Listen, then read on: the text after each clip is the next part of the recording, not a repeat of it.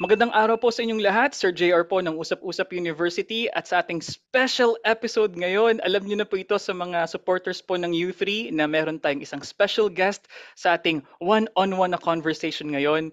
Na feature na po natin siya sa U3, actually dalawang videos po. Ang isang video, nung dati po siyang servant, yung merong debate with dalawang uh, diakono at isang ministro yata ng INC. At yung isang debate naman na pinanood natin, yung historical na talagang mainit na debate, yun yung ano, cite the source, cite the source, ayan.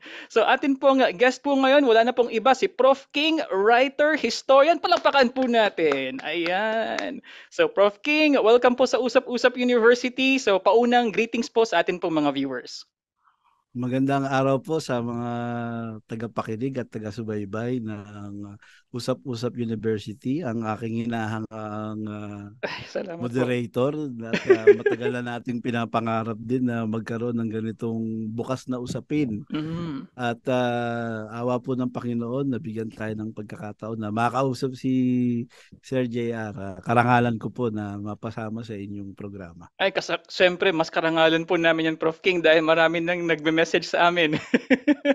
kasi siyempre po, isa po kayo sa mga known, hindi lamang po na ex um, MCGI worker or servant ngayon kundi isa ding ano na it's a force to reckon with sa history community sa Pilipinas. Pero bago natin pag-usapan yung mga mainit na mga kontrobersiya na yan mga issues. So Prof. King uh, konting kwentuhan muna tayo light topics tayo Prof. Uh, a little bit on your childhood. Saan ba lumaki si Prof. King at saka a little bit on family history? Ayan. Tayo po ay pinanganak sa ano no, tayo lehitimong at taal na taga-Tondo, no. Although yung roots natin sa Pampanga, ang nanay ko kasi sa sa Guagua, sa Lubao, ang tatay ko naman sa Arayat, Pampanga, no. So medyo mix yung mga mga grandparents ko dahil kasi sa side ng tatay ko, guerrilla yung lolo ko. Oh. Sa, sa side ng nanay ko naman, pastor naman. Ah, so pas- medyo medyo nag-fuse yung history DNA. at history at saka faith, no? Mm. Kaya kumbaga doon tayo lumaki sa Tondo, malapit din sa Supremo. Mm. Sa may Sunday, yan. Yung Pretil, yung One Luna na yan, doon po tayo lumaki. And Lubao is also the birthplace, if I'm not mistaken, of our former president, Diosdado Macabagal, di ba? Poor, Apo, poor boy from Lubao yan. Mm. Apo. Okay, pero eto po Prof. King, so laking Manila na kayo, ah, pumupunta pa rin po ba kayo ng probinsya once in a while when you were Oh, growing up, no? nagbabakasyon kami sa mga tita namin, sa mga kamag-anak namin doon. Kaya nakakaintindi kami ng Kapampangan, di Mm. takya mo. Mm. Kumbaga, hindi lang kami makapagsalita lang diretso. Pero Prof, um, ganun na ba talaga si Prof King noong ah, bata pa na medyo palaban? Ah, kumbaga, I don't want to use combative pero yung kumbaga may pag may paninindigan kayang kumbaga i-assert. Ganun ganun na po ba kayo dati or medyo kay iba ba yung hmm. personality ninyo? High school, ang elementary? Pinaka, uh, ang pinaka-close lang na ano, tahimik kasi ako nung ano eh, nung nung elementary tsaka ng high school, ang pinaka-close lang uh, na marerelate ko dun sa ginagawa ko ngayon. Dati kasi pag naglalaro kami, 'di ba, yung yung mga karate, yung mga nagtuturo ako kunyari nung mga bata kami, no? Parang ganoon, parang ganoon lang pero hindi ano eh nung nag nagbago ako ng faith doon siya na develop ng ano. Ah. Wala akong ganung character dati. Wow. Uh, okay, parang may pagka ano pa shy shy type po ba kayo dati or oh, silent na ganun, no? Hindi ako masyadong ano lalo na sa mga classmate ko. Pero Marunong lang konti, mm, kumbaga mm, sakto lang, pero mm. iba iba kasi yung naging training natin, kaya kumbaga mamaya palaman ng mga kababayan natin. I see, I see. Pero prof, um noon pa man mahilig ba kayo sa diskusyon like in a family, for example, dinner, yung papa o mama mo ba nagdidiskusyon ba sila? Nakukuwento lang ni nanay na mm. na makatwiran ako. Makatwi. Kumbaga, oh, pagka ano, pagka kung ano yung tama kahit bata pa ako naririnig nila ako. Mm. Dapat ganito ah, dapat ganun ah. Aba. Parang ganun na nakukwento ni nanay na ganun. Kaya future, kumbaga, may future na pala talaga.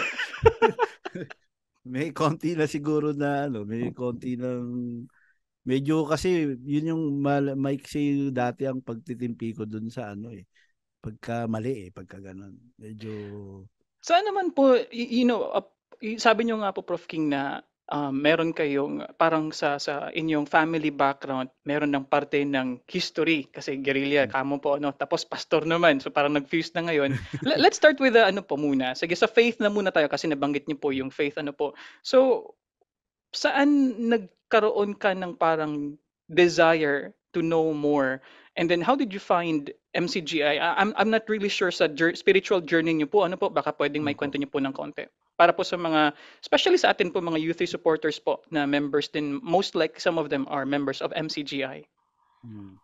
Music kasi ang nag-lead sa akin eh. Medyo underground music yung pinakikinggan ko noon eh. Kumbaga, I'm hindi ako fan nung mga ano eh, yung mga sikat dati ng mga Mainstream mga and layo mo. no? mga mainstream. Kumbaga, yung Oo. message nung kanta yung ano eh. Message nung kanta yung pinapakinggan ko eh. So ano po So, kayo? Ano, ex- parang ex- punk punk ba? Punk ba kayo nun? Oo, Punk, underground. pa- oo. punk ano kayo no? Punk oo, generation punk, kayo eh. Punk generation kami noon eh. Eh, napakinggan ko noon ng ano, ang The Woods. Ah, Sila, sila yeah. Kuya Bobby, oh, yung Ah. lalo na kaputukan na at nakalimutan ng Diyos eh.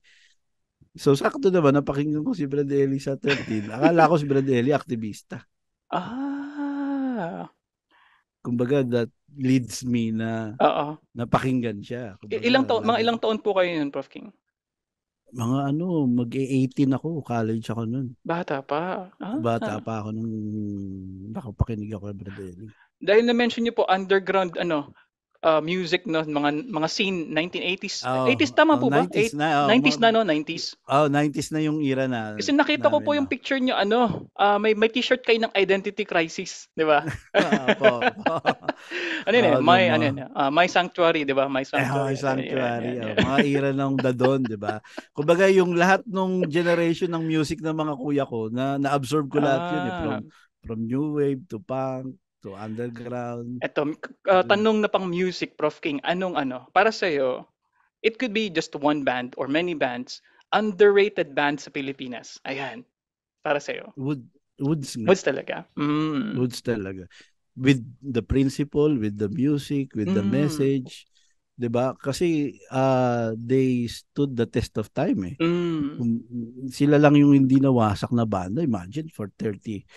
Sumikat na lahat, kumita na lahat, Mm. umaman na lahat. Nawala sila eh. Kumbaga parang dapat maintindihan ng mga musikero ngayon, ng mga banda, ano yung meron sa kanila, 'di ba? Mm. Kumbaga ano yung meron sa kanila na para maipayo sa kanila na magkaroon sila ng prinsipyo. 'Di ba? Hindi lang basta gumawa ng kanta kasi kumbaga sa law merong ano eh, merong parents patry na sinasabi, 'di ba? Merong sa media din dapat ina-apply 'yun eh. Hindi kung ano yung gusto ng tao, bigay ka ng bigay kahit na masama na sa kanila. Show, music, 'di ba? Dapat as, as parents, dapat ang pinapa pinapakinig mo, pinapapanood mo sa sa mahal mo sa buhay, yung alam mong makakabuti sa kanila. 'Di ba? Kasi mahirap pagka o sige, okay, we have our free will. Tama naman 'yun, pero minsan dahil bata ka, hindi mo naman alam pa yung ma-discern kung ano yung dapat at tama sa iyo, 'di ba? Absorb ka lang ng absorb. What was your Ganun po yung nangyari. What's your favorite song mula sa Woods? Ayun nga po, ah, at nakalimutan ng Diyos. Ayun talaga, no? Oo, kumbaga parang it struck me na ano eh, okay, Mm. you have all these things, 'di ba? Pero nakalimutan mo naman ng Diyos. So it's, kumbaga yung positive naman nung ng nadala natin na ibig sabihin, wag mong kakalimutan. Mm. Kumbaga magiging busy ka man, marami ka man magagawa sa buhay, pero ito wag mong kakalimutan ito. And that time, medyo kumbaga kainitan ni uh, ni, ni Brad Eli. Napakinggan ko siya. Kaya lahat na ng ano niya nun, shows nun sa Bob Garon debate, Mm. nire-record ko na lahat yun sa tape ng debate, inahanap ko talaga. Kumbaga nakakita ako ng kasi sa underground may problema yan eh. Pagka parang may stereotype, 'di ba? Away pa nun ng ano eh. Away pa ng ng punk, ng metal, ng hip hop. Parang ang tingin nila superior yung mga music nila. Mhm. 'Di ba? Parang oh, hip hop ka, da, parang mababa ka. Yung hip hop naman ang tingin nila sa ganun din. Mm. Pero nung siyempre pag medyo tumandahan na tayo, it's all about cultural imperialism eh. Mm. Kumbaga parang music ng western lahat yan eh. 'Di ba? Parang kaya ang sa akin natira na lang yung message na lang. Mm. 'Di ba? In in all forms kung hip hop man 'yan, kung pop man 'yan, kung maganda Message pa naman rin, ang no? sinas- message, 'di ba? At least marinig man ng bata, marinig mo man. Kumbaga mamili ka ng musika na hanggang sa pagtanda mo papakinggan mo. You know, Diba? sa, Ga- sa po content siya. creation po, Prof. King, meron kaming term dyan na, and it's one of the reasons actually why the channel has been growing, you know, substantially. Kasi yung content namin when when we talk about religion, these are what we call as evergreen content. Ibig sabihin no na kahit sa anong period ng human civil human time, talagang may magtatanong, ano, kumusta bang Diyos? Sino, sino ba nga ba ang Diyos? Kumusta nga, mm. y- you know, yung, yung, kumusta ang espiritu ko?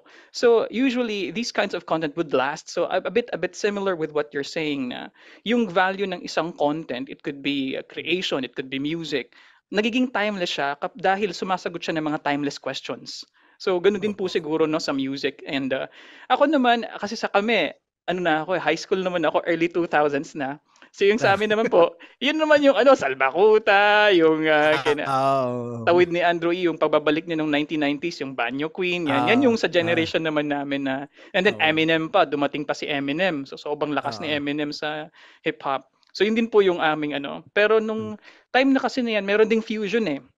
So si kay Francis M na introduce niya oo. ng with hardware, no? Oh. Hardware syndrome, yung minix niya na yung rap rock. So Hmm. naging ano na new metal hanggang naging new metal na with corn, yung fuse na siya with slapshot, 'di ba sa Pilipinas, Oh, kay slapshot Slapshot, naman. ah. Mm. So mix na yung rap at saka yung rock. So sa panahon ko hindi na ganoon kainit yung katulad ng time ninyo na hip hop versus metal Oo, may away. talaga na Talaga nagaram yung Oo, nasaksihan ko yun after ng concert, no? Pagka meron nakasalubong, ay, yan, hindi makakauwi na maayos yun. Ako kasi ang hinahanap ko, das Oo. nag-skinhead pa kami, no? Wow. Pa kami. So, merong against prejudice pa kami. Kumbaga parang, I'm looking for some group na may katwiran, no? Nung nakita Mm. ko na sila-sila rin, nagkakaroon din ng problema, Oo. di ito yung hinahanap ko. Kumbaga, I need Mm. higher learning. I need Ah. higher reasoning Wow. eksakto nung narinig ko si Brad Ellie, kumbaga nung dinigest ko lahat Mm. yung kasi ako naman hindi naman sasabi ko no lalo na ako my part no, hindi naman ako blind faith dahil Mm. unang-una ah science din ang nag-imbita sa akin kay Brad Ellie. Mm. Kumbaga, nire-research ko talaga yung sinasabi. Tapos, abang binabanggit ni Brad Ellie, nakikita ko siya. Scientific talaga siya. Kasi, meron akong time na para i-apply, nasa college pa ako eh. Iba-iba rin religion ng mga classmate ko. Right. 'Di ba? Tapos iniimbitahan din ako ng mga pastor ng mga ano. Nung yung mga naririnig ko kay Bradley, nung nire-relay ko dun sa kanila, hindi ano eh, hindi maka hindi makaporma eh. Kumbaga sa akin ha, ako kasi Mm. kumbaga parang I'm speaking ah lalo na mag to 26 years na ako sa sa church, no? Wow. Congratulations po. Kumbaga, oo, medyo kumbaga mahaba-haba na rin yung Oo. pinagdaanan natin. Kaya kumbaga, nagsasabi po ako dun sa ano na po no mga kababayan, yung sa abot na aking makakaya, dun po sa Mm. natutunan ko, dun sa mga nasaksihan ko, yung experience ko on my part, no. Mm. Kumbaga, syempre may kanya-kanyang experience yung yung mga kapatid, yung ibang mga tao, pero I'm speaking on my behalf. Yung kumbaga, Experiences niyo po pero ano. oo, yung experience ko talaga dahil kasi hindi lang naman po tayo dito umikot sa mga Mm. universities, Opo. sa sa ibang bansa din, no? Napunta rin po tayo ng ibang bansa. Eh lalo na yung famous na debate namin dati sa ano sa UP, yung. UP Atheist Circle. Mm. No, kasi naimbitahan ako sa Akli doon eh. Talagang ang kasama namin mga ano yun, mga hardcore atheists yung mga nakakausap po natin. Kaya kumbaga medyo exposed naman po tayo pagdating sa ganyan. Pero Prof, etong matanong ko po sa inyo, no? Kasi um, it is a known fact na, and for others, they thought na yung Usap-Usap Universities, uh, you know, MCGI-backed um, channel actually, ang main reason why madaming Brother Ellie uh, debate videos na nanonood talaga. Kasi by the hundreds po kasi, Prof, ano, Prof King, yung mga views natin sa, I think the, the, the most popular ones, nasa 600,000 na yata, yung ating analysis sa Mm, isang debate. Pero lagi kong sinasabi sa mga members ah, ng ng channel, sa mga subscribers ng channel na actually marami sa mga U3 members ay hindi MCGI.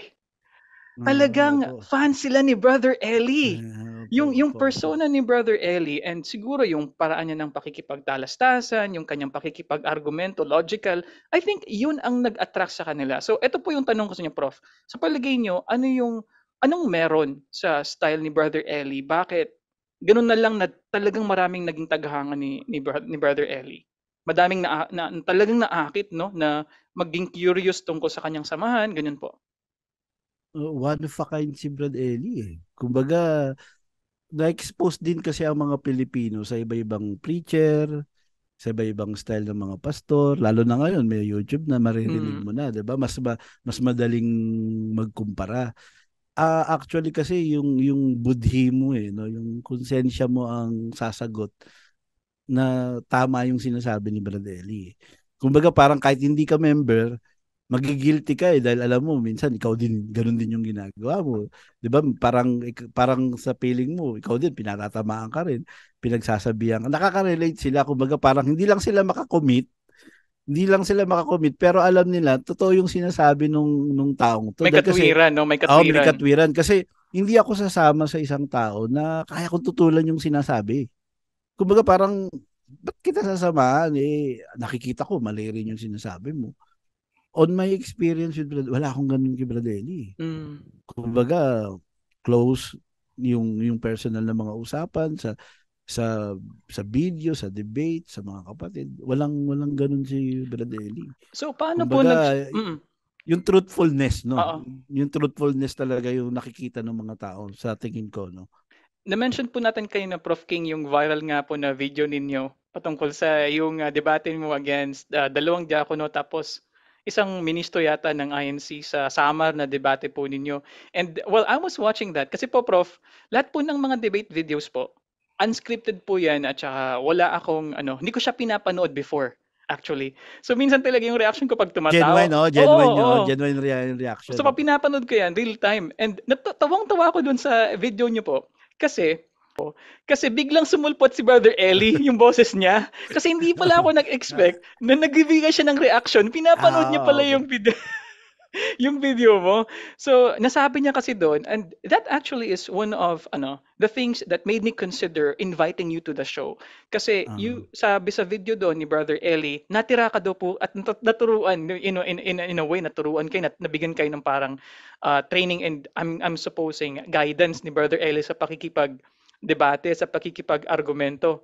So maybe you can tell me a little bit about yung background po ng actual debate, paano nangyari yon, and then yung training po na nakuha ninyo kay Brother Ellie. I think that would be also be very interesting.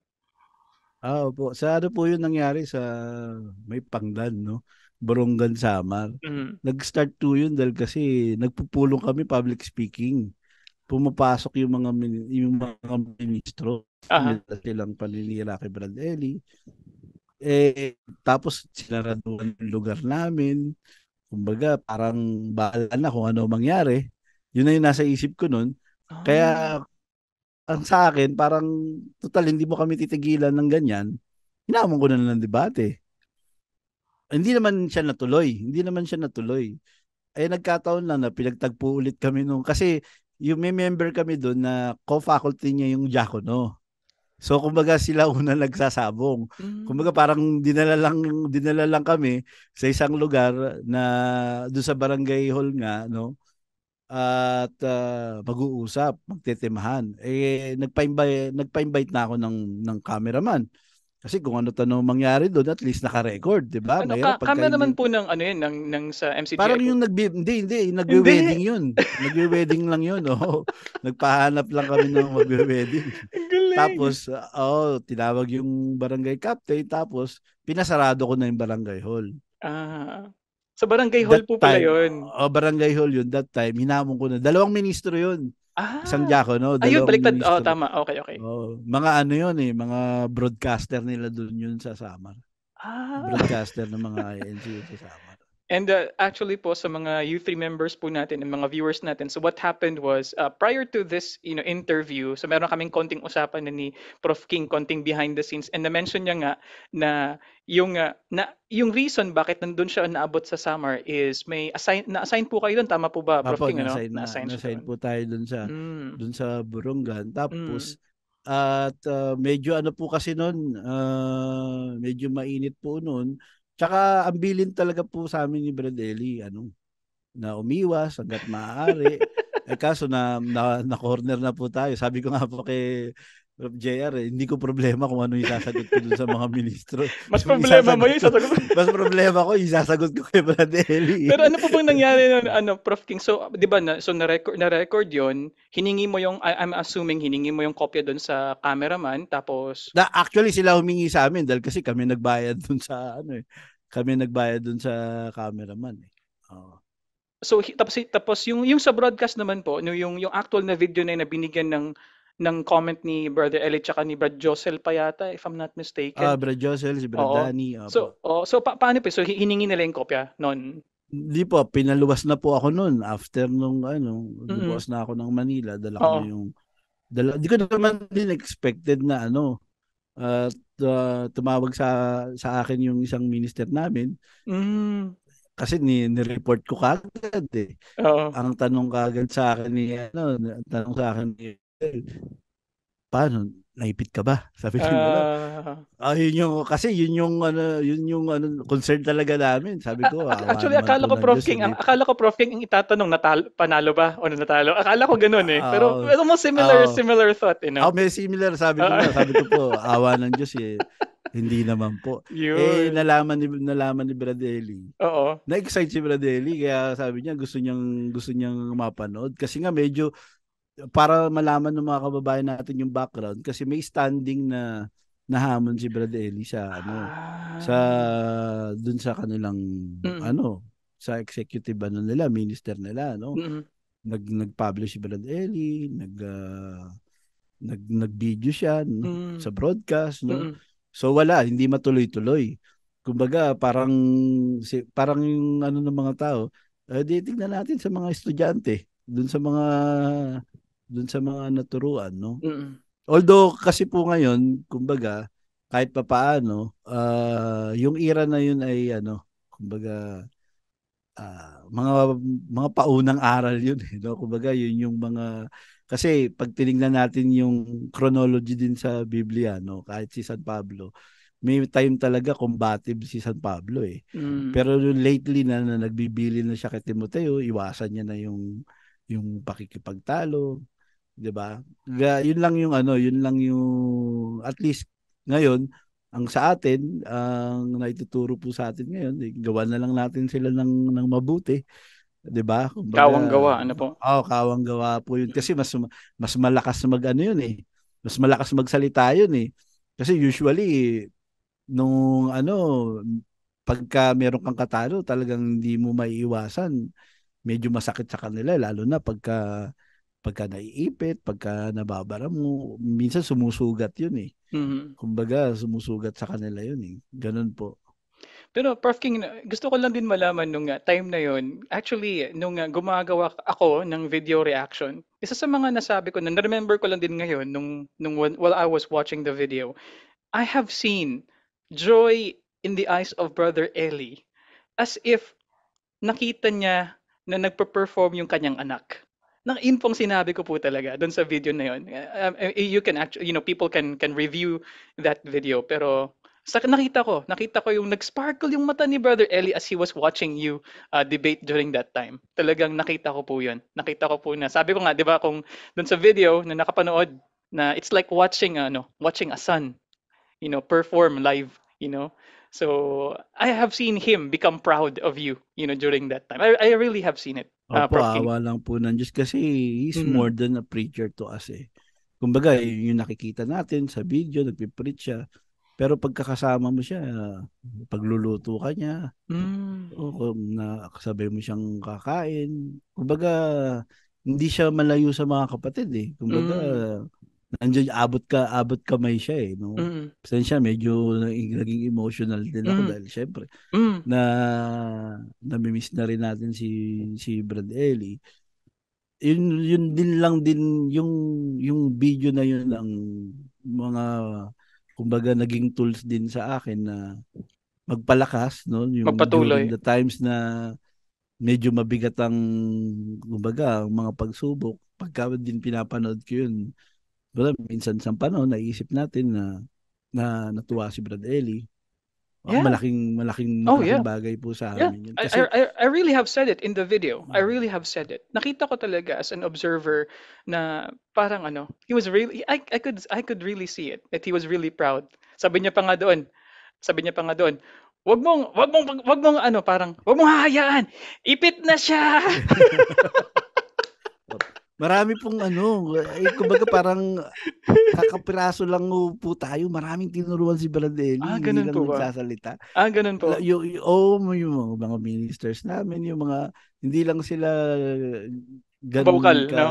Oo, vocal. Pero, uh, mo- makikita mo kumbaga parang, ah, gusto mo malaman na nabigas siyang isang sako, kuha ka lang konti. Ah, makikita Aha. mo, di ba? Mhm. Pero, bigas yun, buo yun. Mm. Puro, puro bigas yun, di ba? Mm. Kumbaga sa, sa, ah, lalo na ang Kuya Daniel, no? Ah, yung mga ministro po, lalo na yung mga, kumbaga, yung mga napapagkatiwala ni Bradelli, magagaling mo yun. Mm. Kumbaga, ako po, wala po ako, wala po ako sakaling kingal. Nagkataon lang na, kumbaga, nabigyan lang tayo ng pagkakataon dahil naggipit na ako eh. Kumbaga, Mm. parang, it's either na, aatras ba ako? Kasi kung, kung aatras naman ako, parang hindi, hindi ko naman din maatim na, 'di ba? Eh ako actually at the back of my mind nung hinahamon nila ako ng debate on the public eh kung nag nagkakahamonan na sa loob-loob ko lang noon pumasok ka sa ring Mm. kumbaga sa boxing kasi pagka nag ah, wala tayong tema walang record walang debating nangyari pag hindi mo na record eh Correct. 'di ba parang ah, Walang, walang parang- documentation, no? ah, walang documentation Mm. sa loob-loob ko, pumasok ka sa ring. Pagpasok mo sa ring, doon mo makikita. Sabi ko, gan- sa loob-loob ko lang. no. Tsaka nakikita ko po kasi, kumbaga, may awa po ang Panginoon yung bili ni Brad Ellie sa amin na pagka maging mabuting pastor ka lang doon sa inaakay mo. Pagka may mga dumating na lobo, i- binibigay ng mabuting pastor yung kanyang buhay sa kanyang mga tupa. Eh, at ano eh, kumbaga may kapatid na nakikinig. May kapatid sila nakikinig. Delikado yung on my part kasi pagka ako alimbawa na na naipit ako doon, natalo ako doon, I might lose one member eh. Right. Eh may pamilya 'yun, merong Mm. mga kay, merong mga kapatid na kilala 'yun. Yeah. So naka at risk no, kaya kumbaga actually hindi po tayo ano, tinulungan lang po tayo ng Panginoon. Kasi nakita niyo po kinakabahan ako noon eh. Kinakabahan ako yeah, nun. Yeah. Kinakabahan I have ako noon na pero I have to fight. Kumbaga Yeah. parang ah, sabi ko may may may awa ang Panginoon at ah, buti yung lahat ng pinakinggan ko kay Brad Ellie regarding that topic. Na, lumabas na Oo, ano no. puma- Na, pumasok lahat na nakahanay lahat. Nakita nyo naman po kasi 'di ba sa Mm. debate, Mm. merong may cross examination, parang shotgun. Hindi niya alam kung saan paano siya Oh, yeah. magtatanong, kung paano Mm. niya idudugtong. Mm. Pero yung ano na yun, yung hanay na po na yun, puro hanay ni Brad Ellie yun, hindi po akin yun. eh. Mm. Mm. Puro hanay ni Brad Ellie. Although hindi lang sila nakikipag-usap, ibig sabihin, ganyan ang aabutin nyo kay Brad Ellie. Mm. Kung, kung nakipag-deal kayo dati sa kanya, ganyan ang aabutin nyo dahil kasi yan na yun eh. Kumbaga parang nakakahon na yung doktrina ninyo na yun. Wala naman kayong bagong sasabihin. Yan na yung talagang tinuturo nyo pati sa mga members, di ba? Talagang meron pa silang paaralan ng debate, may meron pa silang university talaga diyan eh, di ba? Kumbaga napaka-organic nung style ni ni ni, ni Brad Ellie, eh, di ba? Ah, makikita mo talaga kung iaanay mo parang yung mga apostol din wala naman silang pinag-aral. Sabi ko pero hindi manalo sa pangangatwiran yung yung mga pariseo, mga abogado yun eh. So ga, ganun naman malinaw naman yung nangyari sa sa kasaysayan, you know. Eh sakto nun yung yung hanay na yun ni Bradelli lalo na nun sa ano, dun sa way of questioning kumbaga na uh, modesty aside po no no pasintabi Mm. lalo na dun sa mga kapatid. Sa akin sa akin lang pong nararamdaman no. Kumbaga may there is Brad Ellie in me. Merong kapiraso, Mm. may, may Brad Ellie pati yung na-adapt ko yung way nung ano niya, nung pagsasalita niya, yung the way Oh, definitely. na hindi ko na hindi ko na hindi na ako ano noon eh. Kumbaga parang hindi na ako aware noon eh na parang pag nasa Bulacan ka yung punto nila, 'di ba? Pag pagka nasa Batangas ka yung punto nila makukuha mo. Parang ano, parang Mm. ganun nangyari kasi yung nung nangyari naman yung debate dun sa ano, dun sa mga professor sa history. Yun. Yung yung yung lalo na yung part ng showdown na pinakita ko po sa inyo. Hindi pa Mm. napipicture yun, papalabas ni ni Sir JR pag kami pagkakataon. Yung showdown na yun, talagang naalala ko si Bradelli dun eh. Parang siyang lightning strike na Mm. kumbaga sa sa Voltes 5 na eh, laser sword mo na yan.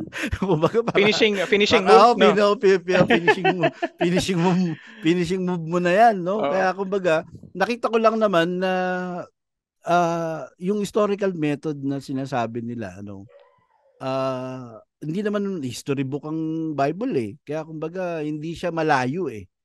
Hindi siya malayo tapos tinignan ko rin kung pwede bang gamitin sa academy yung method ni Bradelli. Mm. Nakita ko pwede nga eh. Pwede, Pero- pwede siya eh. Pero Prof Kim, eh, good thing na you mentioned about yung historical de- yung historical debate nga. Pero prior to that, um, para lang po sa mga viewers natin, Mm. maliban po sa uh, Prof King being an ex um, worker ngayon servant na nga. Um, ex so, servant tama po ba no? Yung term po. Tama Ah, po ba? may Prof. King, servant no? po yung Servant, tawag oo, dun sa oo. mga minister po natin. Um, before natin itatakal yun, um, si Prof. King is actually well known sa social media. Um, hundreds of thousands po ang kanyang mga supporters, especially sa kanyang page. Yung isa doon nakita ko, yung kanyang actual na page, um, Prof. Secu King Cortez, di ba po? Tama po ba, no?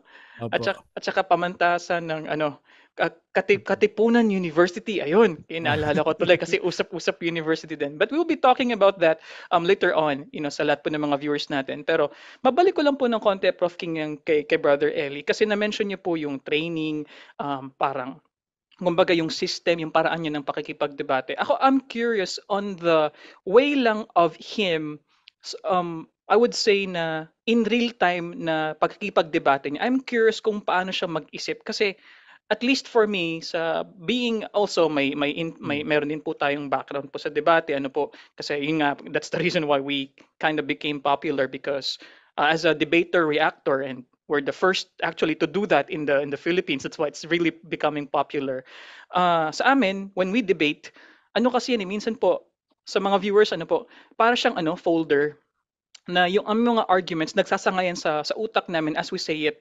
So, the way I understand Brother Eli sa kanyang sistema ng pakikipagdebate, palagi ko parang ganun din na nakakahon na yung mga arguments at saka mga sitas, parang nag, nag, nag nagbabranch-branch na siya. Tapos that's how he reacts or or responds to the arguments. Tama po ba Prof King ang aking parang pag pag-intindi like at least for your May- analysis? Oo. Meron siyang similarity sa ganun. Mm. Sa spiritual side Oo, kasi, oo, oo. meron po kasing ah, nakasulat na yung espiritu ng mahangaral ng Diyos, hindi mo masusukat. Mhm. So, kumbaga, yung mga branches po na sinasabi ninyo, Oo. meron kasi, kumbaga, meron kaming mga known na, na batayan na ginagamit. Mm. Hindi nag hindi nagsisimilar si Brad Eli ng ginagamit eh. Mhm. Marami siyang techniques na ginagamit, Mm-mm. technicalities, Oo. sa sitas, sa science, sa context. Marami siyang ano, marami siyang kumbaga striking moves no, tsaka Mm. strategy hindi kumbaga Mm. hindi mo siya sa basketball kasi may mache-check mo eh, 'di ba? Parang may Mm. move, mache-check mo eh. Oo. Siya hindi mo siya Paulit-ulit ano, eh, na mo, ano Oo, na paulit na go to move no, parang go to move, ganun. go, go to move, go, Oo, alam mo oo. na yung drive mo na dito ka makakashoot, Oo. yun lagi ang ginagamit. Si Oo. Bradelli hindi Hindi. ganoon eh. Hindi mo Mhm. siya hindi mo siya magaganon kasi nga may may, espiritu kasi yun kasing espiritu ng Diyos. Hindi mo masusukat yun eh. Katulad nun yung paborito kong nababanggit dun sa panahon Don Manolo, no? yung tinanong si Bradelli kung kung gaano ba kataas yung pinag-aralan ni Bradelli. Oh. Kasi sinisino siya eh. Tinatanong Wow. siya kung gaano kataas eh. Theologian Eh, ba ang- siya? Scientist ba Oo, siya? Di ba? Mga ganun, di ba? Mm. Eh, ang sabi ni Bradelli, hindi ho mataas ang pinag-aralan Mm. ko. Malalim. Mm. Kasi yung Mm. Espiritu ng Diyos, uh, kumikilala yun, yung mga malalalim na bagay ng Diyos. So, kumbaga, parang wala naman kaming, ala, kumbaga, parang hindi namin alam na ganun yung, yung isasagot niya. Mm-mm. Unpredictable, mahirap kasing kalaban yung unpredictable. 'Di ba pagka unlike kasi madaling kadebate yung nakakahon yung alam nila. Kaya masusupresa yung mga yan dahil kumbaga they are ay, yun yung naituro sa kanila, yun yung tinatanggap ng marami. Kaya minsan pagka naglabas ka ng bago, akala uh, para may masabi ka lang, mm. 'di ba? Pero hindi mo alam meron may punto talaga, meron talagang valid talaga yung yung yung argument, 'di ba? Kasi pagka hindi valid, madaling iba, baluktutin eh. Kumbaga madali mo siyang no? baliin, matutwist mo kagad siya eh dahil yeah. hindi 'yun ang katotohanan kasi nakaugat 'yan eh. Kumbaga pagka ganun talaga 'yung nangyari, ganun talaga 'yung katwiran. Kumbaga sa chess 'yan, hindi mo basta-basta makakain yung pawn kasi maraming nakasuporta. 'Di ba? Nakasuporta yung rook, nakasuporta yung knight. Naka... Paano mo makakainin 'yun, 'di ba? Pero pagka ano lang 'yan, may dadama kasi kay Bradelli hanggang tatlo ka lang eh. Mm. Pang uh, makakapangatwiran ka isa. Aha. Pangalawa, wala ka nang pupuntahan. Mm-hmm. Pangatlo, tatanggapin mo na lang yung sasabihin niya. Mm. Pagka nakita niyo yung minsan tatanungin ka niya na pinapadama ka lang eh. Mm. Kumbaga pinapaamin ka lang eh. Mm. Kasi after nung ano, nung after nung nung video no, nung na-play yung first time na play, nasa Pampanga na ako. Di pumunta kami sa kanya. Uh-huh. Sabi niya, sabi niya, ganito gagawin mo. Sabi niya ganoon. Pabayaan mo muna silang Salita. tanggapin nila yung stand nila. Aha, aha, aha. Parang uh, eto ba talaga yung paniniwala niyo? Correct, correct. Yeah. Iba talaga pag yung uh, may katwiran, no? Yung kat- mahi- hmm. hindi hindi mo na matitwist 'yon. And uh, mahihirapan 'yun, no?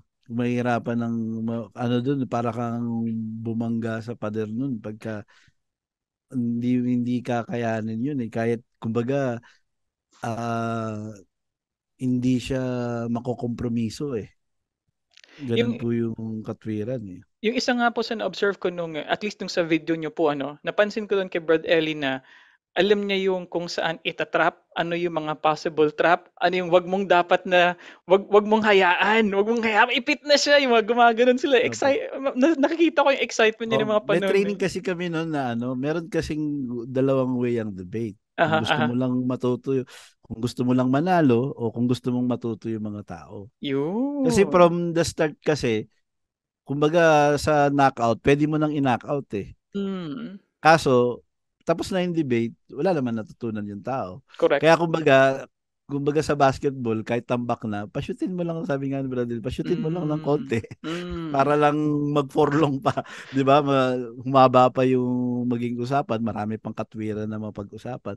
Pero from dun pa lang sa unang burst na binanggit ko nun, ano na yun eh, kumbaga bomba na agad. Showdown, pang showdown na yun dahil oo, kasi oo. Sabi mo, isa lang ang Diyos eh. Mm. Eh yung upuan. trono, di ba yung trono? yung trono. oh. eh pati yung yung kapangyarihan na iaatang, no? Dahil mm. na totoo. Diyos din. Ta- tapos na yun eh. Mm. Tapos kaya na-shock na siya eh, hindi niya na alam mm. kung, di ba, nakita, para, nung una, pagka narinig mo kasi yung boses nila, Siyempre, boses broadcaster, di ba? Parang... Modulated pa, no? Bukado, modulated pa yung boses. Oh. Pero nung kumbaga sa boxing na, na bigyan mo ng isang job, parang kumausap ka na sa lasing eh. parang kinausap mo yung lasing na na hindi na alam kung ano yung pangalan niya, kung ano. Mm. Nawala na sa katwiran kasi nga nagtanong ka ng wala sa box nila. Mm. Ganun, Kumbaga, ganun hindi nila in-expect din, no? Hindi, hindi nila, nila in-expect. Hindi nila naisip, hindi nila, kasi pagka pupunta ka sa isang debate, lahat ng possible na pwedeng itanong sa'yo, i-counter sa'yo, dapat ni-review mo na yon Correct. Huwag ka pupunta sa debate ng half cook dahil kasi mm. ano yun, ma, ma, maluluto ka ng wala sa lugar nun. Mm. Eh, kumbaga, yung a little bit, no, yung part lang nung nung natutunan natin kay Brad Ellie, mm. enough eh. Enough para makatayo ka eh. Mm. Makapanindigan ka eh. Ganun you know, po siya. You know, mention mo kanina, Prof. King, about yung let them accept first their stand. Ako na, ah. nakita ko din na ano yun. Nakita ko na ah. parang, ano yun, um, parang style nga ni Brother Ellie, which is good. Kasi, kinakailangan mo munang i-confirm bago bago ka oh. aatake make sure muna na totally na nagka-clash ka no sa kung anong sinabi niya. Kumbaga, sakto yung magiging response mo. Ah, oh, Kaya ipapa-accept mo muna sa kanya kung ano yung Kasi pwede niya pang tanggihin eh. Exactly. Pwede niya pang itanggi. Unlike nung kumbaga parang umamin na siya sa Uh-oh. umamin na siya sa public. Uh-oh. Hindi na siya makakaano, hindi na siya mm. makakaalis doon. Then you strike. Ito sa mga U3 supporters natin, ito debaters talk na ito. Ay, masaya na. Kaya ang ganda ng Oo. ano, ang ganda ng usapan naman ni Prof King kasi it's something that we ah, sa akin at least hindi naman ako maalam sa religious debates, pero yun nga, ang sa amin naman sa formal debates naman kami British Parliamentarian, Oxford, Oregon, which is nagagamit din Ah. ni na, ni na Brother yung Actually, Oxford, format. Oregon yung Mm. ano namin, yung yung format yung Mm. format namin. oh. Yeah, yeah. Kasi yung ibang debate ano eh, may merong debate eh, may nakita ko mga vloggers na nagdi-debate eh, nag- nag-talk show eh. Kumbaga yung walang cross-examination, pangit ang debate na walang ano eh. Walang 'di ba parang they sound intellectual, Aha. parang uh, pero pag walang cross-examination ng debate, Mhm. nonsense 'yan. Kumbaga parang Mm. magsasabihan lang kayo, magbobolahan lang kayo diyan. Unlike kasi sa sa cross-examination, sabi nga ni Bradelli, Mm. hindi ka makakatanggi dun sa sinabi mo dun. Hindi ka Mm. makakaalis. Kasi that is Mm. the only way para mapalabas yung totoo. Mm. Kasi yung, yung kasinungalingan, maraming forms yun eh. Mm. Makakapagtago yun, makakapag-deny yun. Pero pagka na-corner mo yun, kumbaga parang nasakal mo na, na-corner mo na, siya na magluluwa ng katotohanan eh. Kumbaga parang nagsisinungaling nung una eh, di ba? Mm. Pero pagka na-squeeze mo na Na-squeeze yan, mo siya, oo. Oo, na-squeeze mo na. Sasabihin Mm. niya kung ano totoo. That's the time Mm. na yung mga makatagapakinig, makikita nila kung sino yung totoong nagsasabi. Kasi po pwede pang ma-deny. Kaya nga kumbaga, parang bitin ako doon sa ano, bitin ako sa style ng ng korte, bitin Mm. ako doon sa style ng ng parliamentary sa Senate, sa Mm. ba- dapat kumbaga talagang pwede mong ano yun eh, pwede mo talagang i-counter eh. O- Eh, although, syempre, mm. Ang, nasanay lalo na ang academe na Mm. sa defense, 'di ba, sa Mm. thesis. Mm. Eh one way 'yun eh. Kumbaga, injustice din 'yun eh dahil syempre eh nagde-defense yung bata sa 'Di ba? Kumbaga hindi ka naman niya pwedeng matanong. Dahil syempre ikaw yung panel eh, 'di ba? Baka hindi mo siya ipasa. Mula lang Hindi sa kanila yung tanong, yun. oo. Oo, 'di ba? Nak para nakatali yung kamay nila 'yun. Unlike talaga pag may cross examination, fair tayo kahit Mm. estudyante ka, kahit doctorate ka, kahit ano pa ang estado mo sa buhay, kung sino ang may dala ng katotohanan, yun ang lilitaw diyan.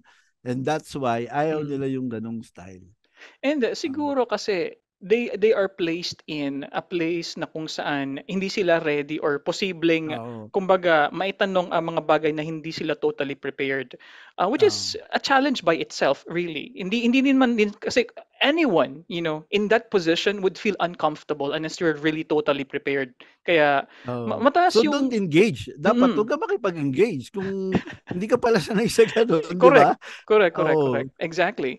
Pero Prof King, no, konting tanong na lang about kay Brother Ellie and then we can move on to the next chapter which is also an interesting chapter. Pero uh, ito kasi galing ito sa mga MCJ supporters na nag-message sa atin, Prof King, ano. Uh, can you recall a funny moment with Brother Ellie or isang moment na it could be your own close personal experience with him na talaga hindi mo makakalimutan. Alam, alam palagi ko marami pero baka may mga ma-remember po kayo na talagang yun, isa sa mga kumbaga cherished memories mo with Brother Ellie. Ang hindi ko talaga makakalimutan, Mm. no, yung kumain kami sa isang plato.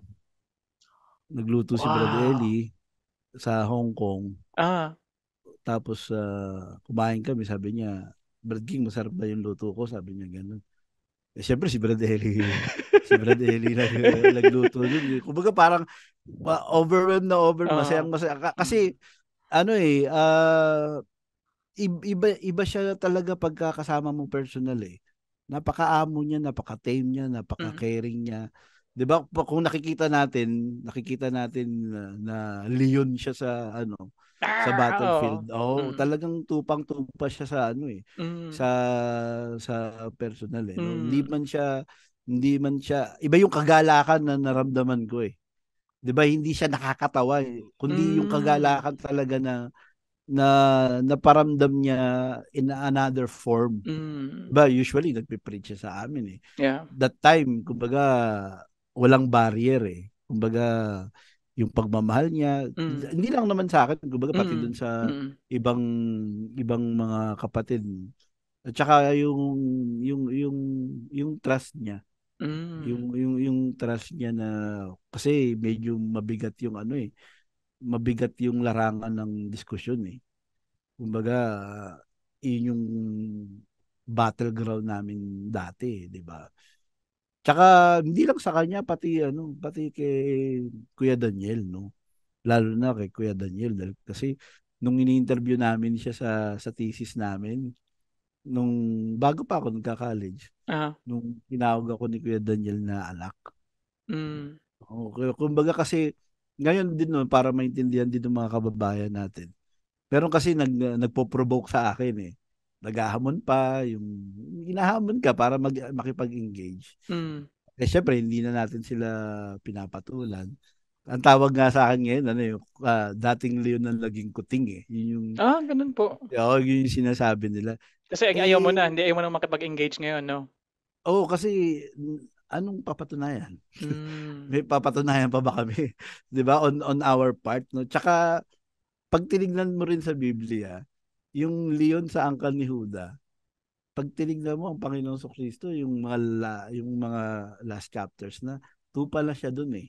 Mm-hmm. So, kumbaga, maski nung sa last, nung ano siya, nung ini-engage siya nila Pilato, di ba? Hindi mo ba ipatanggap? Hindi nga siya umimik eh. Para nga siyang tupa sa patayan eh. Di ba?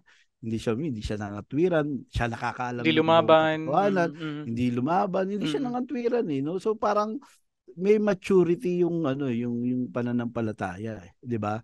kumbaga yung ginawa ni San Pablo, yung ginawa ni ni ni Brad Ellie, wala namang makakaano noon eh. Kumbaga wala namang makakagaya noon eh, no? Kaya kumbaga sa sa ngayon, no, ang pinaka kumbaga magandang diskurso na ipinupundar namin ngayon na gawa ng mabuti kahit kaaway, mm. kahit na anong pananampalataya, doon kasi hindi nila, yun ang hindi nila matututulan yun eh. Right. 'Di ba? Na mabuti yun, na tama yun, na mm-hmm. kahit na magkaiba tayo ng pananampalataya, eh magawan kita na mabuti. Kasi sasama pa loob mo sa akin eh. Pagka mm-hmm. pinag-usapan natin yung differences natin, kasi hindi mo naman ako mapapaniwala. 'Di ba? Hindi ka rin naman maniniwala. Mag-aaway lang tayo. O di, gumawa tayo ng mabuti sa, sa kapwa natin at least kahit pa paano, mm. nagkaroon tayo ng ano, ng, ng ano ba, yun, yun yung katwiran eh. Yun talaga yung dapat magawang katwiran, hindi yung parang daldal tayo ng daldal. 'di ba? Pero hindi naman tayo gumagawa. Pero alam mo, Prof. King, ang dami nakakamiss ng debate ni Brother Eli. And proof na tayo diyan sa Usap-Usap University. Oh, hindi kasi kumbaga si ano, yung kay Brad, yung kay Brad Eli kasi, meron kasi meme na nakikita ko noon. Parang racing siya ng ano ng ng mga aso, tsaka ng cheetah. Uh-huh. Diba? Yung, yung cheetah, ang ginawa ng cheetah, hindi naman siya umalis dun sa lugar niya eh. Kumbaga hindi naman laging kailangang patunayan mo na na tama ka eh, no? Mm. Kumbaga parang oh sige, nandiyan si si Bradelli, yung mga video ni Bradelli sa debate. Meron ba kayong bagong sasabihin? Kung kaya nyo na bang, kumbaga, kaya nyo na bang baliin yung sinabi niya? Oh, di, kumbaga, hindi nyo naman pala din na kaya. Hindi nyo naman, wala naman kayong bagong ikakatwiran o why? Ba't kailangan namin makipag-engage? Hindi ba enough yung ginawa ni Brad Ellie? Di ba? Hindi ba enough yung mga videos? Kaya kumbaga, mas maganda makita ng tao yung application ng tinuro ni Brad Ellie. Mm-hmm. Well, diba? Kung... sa, sa perspective ko, Prof. King, na being a non-member of MCGI, oh. I think these are two different things. I uh, think the, the debates themselves serve a different purpose. You know, uh, may, may talagang nakikater din siya sa mga tao na naghahanap ng mas kat, you know, you know, katuwiran nga at saka oh, it's kumbaga bite-sized na uh, accessible na information na kanilang kumbaga nagpapaliwanag sa kanilang mga katanungan. So ayun ang nakita ko talaga sa sa success ng Usap-Usap oh. University. You know, Prof King, kaya nga sana nga ma ano, mapag makausap natin si makausap ko si ano, si Brother Mel. Ayan, Brother Mel ng IT na sana wag tayong i-copyright kasi pag na-copyright tanggal lahat sa usap-usap university. Pero yun nga, uh, yun nga po Prof King, ang uh, sa usap-usap university, we are ranging dati one, wala ang 1 million. Ngayon 1.7 million ang nanonood every 28 uh-huh. days. 1.7 million views. Kasi yung platform mo na lang yung ano eh, sa TV wala na. Mm. Sa mga vlogs, puro one-sided lang ang naririnig. Mm. Puro parinigan lang, di ba? Uh, Daga, maghahanap talaga ang tao ng ganitong programa dahil kasi mm. lalo na eh, hindi ka namin member, di ba? Hindi ka member ng ibang, kumbaga, may, naka, ano ka, you are a moderator na, yung karakter ng isang moderator, talaga na makakagitna Mm. sa anumang issues, di ba? Kayo po yung nakagawa nun dahil nga sa inyo, pangarap ko yung gawa ng ganyan din dati yung mga debate ni Bradelli kasi kapa, kaso kapatid ako eh, Oo. eh magiging bias sa akin eh. Kaya Opo. nung binuksan nyo po yan, Mm. na uh, nakasuporta yung mga, yung mga kapatid, no? Opo. Uh, buti naman naka-record lahat, no? Yung mga Mm. mga halagang debate ni, ni Bradelli, yung mga, kasi pare-parehas lang naman ng issues ng iba't ibang religion eh. Opo. 'Di ba? Kumbaga the same yun din yung faith nila hanggang ngayon eh. Kaya kumbaga it's very useful. Tsaka yun naman din ang bili ni Bradelli. Siya mga ngaral, i-record niya lahat ng Mm. pwedeng may record, 'di ba?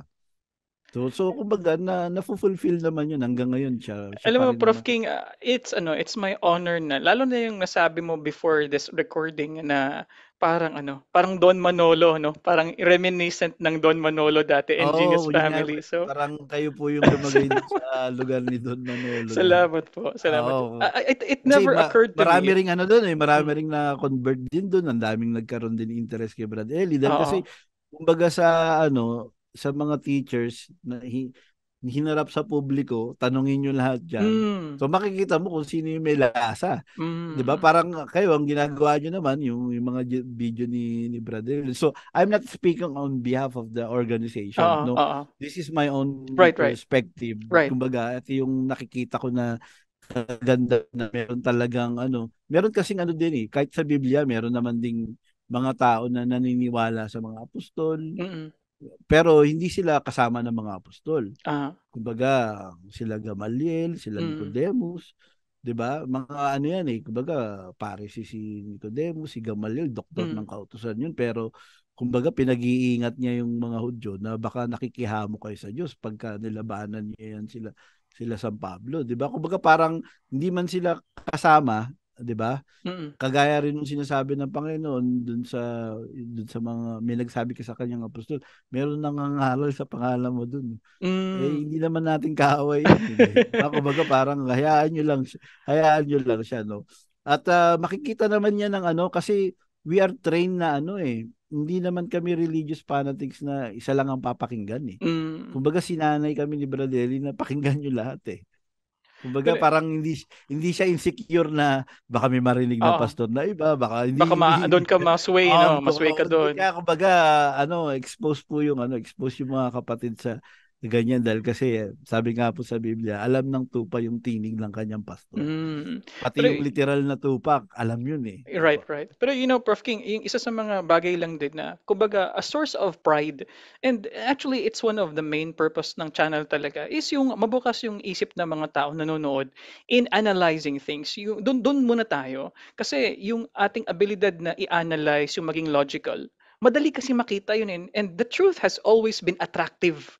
You know, we always aim for Oo. it, and it has always been attractive. Kailangan lang pagsasabayin mo lang talaga magsalita.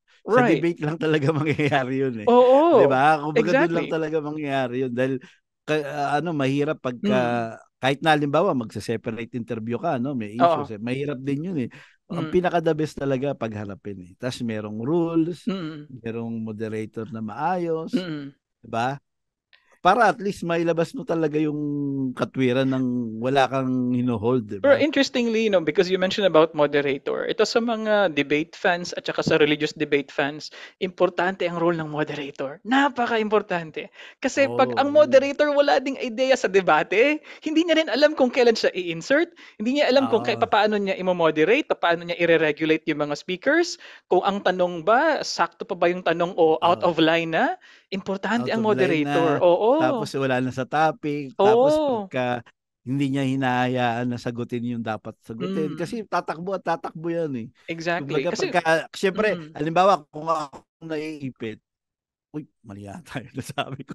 Kumbaga, Oo. wala pala ako sagot. Kaya Oo. ang gagawin no, ang gagawin mo dun sa ano, ang gagawin mo talaga, maghahanap ka talaga ng excuse na wag nang pansinin. Mm-mm. Kumbaga, makaalis ka na dapat dun sa Pagka Mm. po napalabas ni JR yung second batch na ng ng ano yung diba isa debate sa history. Second batch Mm. na ng cross-examine. eh. Yung first batch yun, mas masaya eh. Oo. Makikita niyo po may similarity dun sa debate ko nun sa ano sa mga INC. Mm. The way I asked them nung tinanong ko rin sa kanila ng ganun, Oo. medyo na na, na blanco rin eh. Na Mm. blanco rin sila dun sa part na yun eh. Prof. King, bago lang natin itawid dun sa mga ah, career mo as a historian, ano, gusto ko lang tong last na message lang dun sa mga supporters ng U3 dahil, um, you know, marami nagtatanong kung ako ba ay MCGI. Meron din kasi minsan na kapag ang isang argumento na kinaklarify ko, people would think I am INC. So, hindi po ako kaanib po ng mga religions po na pinapanood po natin. Pero isa lang yung aking satisfaction na by doing this, by analyzing debates, by analyzing their arguments, kung ang byproduct nito is magkaroon ng kapanatagan yung kaluluwa ng mga manonood, sa akin, it's already, you know, it's more than enough for me. And nasabi ko na po ito, Prof. King, yung sa mga, kasi po may mga meet and greet na, na rin po kasi ako sa mga fans po natin, no, sa, sa, na, actually, last week nasa Laguna ako, and then meron din tayong na-meet sa, sa QC na mga supporters. So yun ang lagi kong sinasabi, na yung ating, ano dito, it's not even a consolation, but it's our pride na yung mga viewers natin, if they find um, security with their own desire for knowing the truth biblically, we're more than happy for that. So, yun yung ating uh, parang ano, um, consolation despite the bashing kasi lahat sides na hindi lang MCD Ah, sa opo, MGA ah, opo. atake rin Ah. ako INC lahat lahat actually lahat may mga pag-atake sa atin yun yung consolation natin na Ah, ako Um, naman, uh, Prof, meron naman akong pakiusap sa mga tagapakinig mo. opo No? Ito, ni, hindi ito scripted. No? Ah. hindi, kami, hindi namin pinag-usapan to ni, ah, ni Prof. JR. Kasi Mm. ako, ako po personally na ano, makikiusap sa inyo na kung paano itatrato yung ganitong mga programa. Kasi para magkaroon ka ng ganitong programa, kailangan meron kang enough knowledge at saka tapang. Kasi usually, napakadelikado nitong nilalakaran ni Prof. JR dahil hindi mo maiiwasan na merong panig na masasaktan, merong panig na hindi sasang-ayon.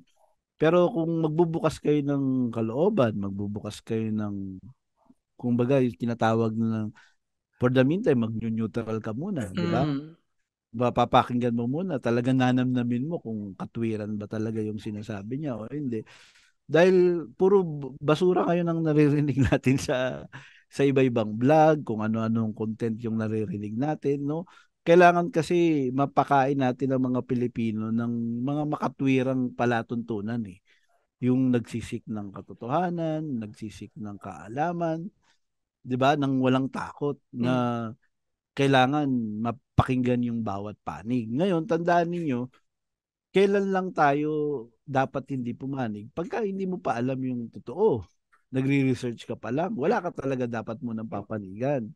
Pero kasi, hindi maiiwasan ni Prof. JR, pagka nakakakita niyang katwiran, he is duty bound na sabihin na valid or erase argument. yeah Oo, 'di ba? O hindi valid. Correct. May instinct kang mararamdaman na oops, medyo mali yun na hindi valid. Malayo sa kumbaga sa tono, malayo sa tono, no? Mhm. Kaya imbis na kahit na anong religion nyo po, kahit anong pinapanigan nyo politically, no, masuportahan natin yung ganitong Ay, salamat po. programa, 'di ba? ay salamat kasi Prof King ah Kailangan kailangan maabutan to ng mga susunod na henerasyon natin eh dahil kasi nanginayang ako nung nawala yung Bob Garon debate eh. Mm, Kumbaga, yun free-flowing din yun eh. Yung yun lang din yung nag-dare na magbukas ng ano, yung Maret pare, a little bit no, Mm, pero yeah. mas mas mas mas okay yung format ng Bob Garon debate sa akin yun yung dati, Ah. 'di ba?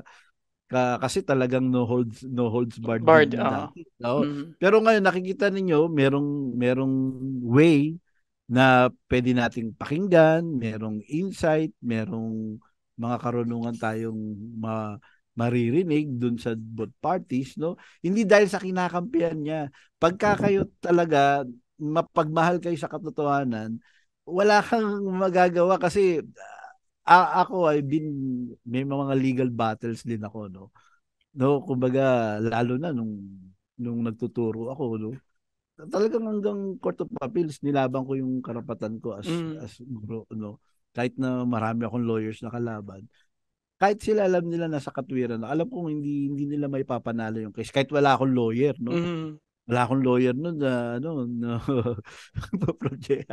po. Yun Oo. nga po no, na, na tayo po umaapila sa inyo at ah, para mabigyan ng pagpapahalaga yung ganitong klasing ah, programa dahil minsan ah, ang nasusuportahan natin, ang napapasikat, ang pinagbubuhusan natin ng panahon, later makikita natin na hindi naman mahalaga sa lipunan, hindi naman mahalaga sa Salamat kamalayan po. natin o kaya ako inuulit ko po no na bagamat hindi tayo sang-ayon sa tingin natin, hindi pumabor sa atin yung yung mga analysis, umaapila po tayo dun sa yung pagiging makatwiran nyo po na naghahanap ng totoo. 'Di ba? Minsan kasi Salamat po. ka- na nagiging bias tayo pagka ka-religion, kamag-anak, kalugar, yan yung nagiging biases ng mga Pilipino eh. 'di ba? Correct. Kailangan kasi alisin mo yan para makita mo yung ano eh, makita mo yung totoo eh, no? Tsaka yung particularity, lalo na yun din kasi ang bilin sa amin sa law school na ang usapan sa isang issue dun sa particular na bagay na pinag-uusapan. Kung dun sa main issue, Correct. it doesn't matter kung ano yung kung ano yung lahi niya, kung ano yung religion niya. Eh siya yung nagsasabi ng totoo eh. Siya yung may katwiran, 'di ba? Ma, mas ma, magtaka tayo, mas ano tayo, kumbaga, matakot tayo pagka ang moderator, hindi niya alam din kung ano yung katwiran, kung ano yung valid reasoning, 'di ba? Kasi maliligaw din tayo noon. Kumbaga, parang we are at loss din pagka ganun yung nagmi-mediate. Kasi ka- kagaya nga na nasabi ni Prof. JR, sa moderator, mahirap ka kasing mag-moderator kung hindi ka rin debater. Hindi mo alam yung yung hindi mo alam pagka nang naiipit na, hindi mo alam pagka nag-aalibay na lang, 'di ba? Hindi Correct. mo kumbaga hindi niyo pare-parehas mapapalitaw yung katotohanan eh. Kasi tandaan ninyo, sabi nga ng mga philosophers sa dis- sa diskurso, the main uh, reason is not for victory. It's for progress. Oh, Kaya yeah. tayo nag-uusap, hindi para magpagalingan tayo. Lalo ano Socratic yun, no? Socratic Oo. method yan eh. Oh, so Socratic method kasi Mm, yun eh. Kumbaga yeah. parang kung gusto mong mapalabas yung yung katwiran, kailangan maalis natin yung mga biases natin. Kailangan ma- matest yan eh. Correct. Di ba, pates yan eh. Pagka yung katwiran mo, bago ka humawak, sabi nga ni Brad Eli, bago ka yumakap ng pananampalataya, ng prinsipyo, ng ah, ideology, eh, nasigurado mo, kumbaga, na-validate mo, na-research mo, higit sa lahat, na-apply mo na, na kaya mong panindigan. 'Di ba? Kasi pagbubusan mo yan ng panahon, pagbubusan mo yan ng pera, ng oras, 'di ba? Minsan mag-overthink ka pa, 'di ba? Dahil sa mga bagay na yan. So, pagka hindi ka pa sigurado, doon ka, yun yung panahon ng pagiging neutral ka. Pero pagka alam mo na yung totoo, 'di ba? Ka- Kasi minsan sa media, mali rin yung sinasabi na dapat walang kinikilingan, dapat Walang walang pinoprotektahan. pinoprotektahan. Pagka hindi mo alam sa umpisa, wala kang kikilingan. Pero pag alam mo na kung ano yung totoo, hindi mo pwedeng wala kang kilingan doon. That's actually a very good point, dapat, Prof. Oo. Dapat tayo lahat panig sa katotohanan. Dapat Mhm. sa ustisya tayo. Kumbaga, hindi dapat yung nababaluktot. Yun yung napapagkamalian minsan din kay Brad Eli. eh. That's a very akala nice ar- arrogante, akala nagmamataas kami. Hindi. Ang naalala kong bili ni Brad Eli doon, yung katwiran, hindi binababa yun. Personally, pwede nyo kaming malait, di ba? Makita ninyo, hindi kami yung ganito yung itsura namin, ganito yung pinag-aralan namin, okay lang yun. Mm. Pero yung katwiran, pag alam namin katwiran, hindi yun binababa. Kailangan Correct. kasi dapat lahat tayo, we, we do the same standard. Eh. Dahil kasi pagka na, nabali yun, pagka nasira yun, di ba, katulad ng nangyayari sa atin ngayon, be, ma, kaya kung pinasok yung, yung history, kasi, oh, bayani yung, bayani si Bonifacio. Bayani rin yung pumatay kay Bonifacio.